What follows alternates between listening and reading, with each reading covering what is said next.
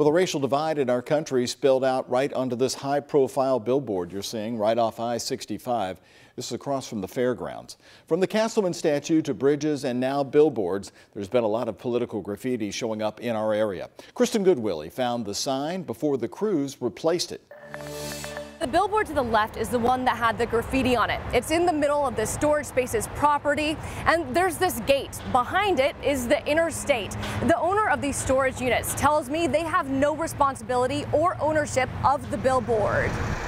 This billboard greeted drivers on their morning commute. What it's supposed to say is America's Day at the races. What it actually says is America's Day as a racist. In addition to changing races to racist, it also says Trump 2020.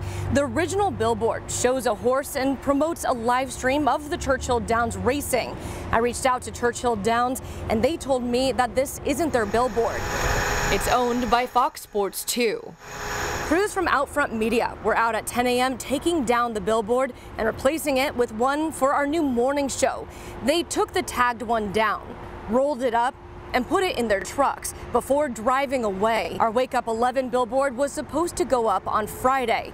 We have reached out to Outfront Media and they haven't responded to our call. The graffiti is signed by the group Resist 45. This isn't the first time they've taken credit for a political tagging like this. Back in February, we reported that they had a billboard say kill the NRA.